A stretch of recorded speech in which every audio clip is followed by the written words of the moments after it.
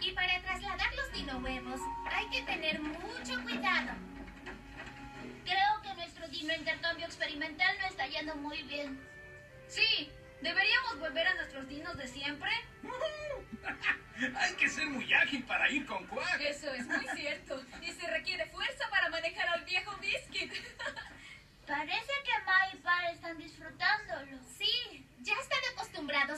intercambiar sus dinosaurios. Deberíamos seguir intentándolo.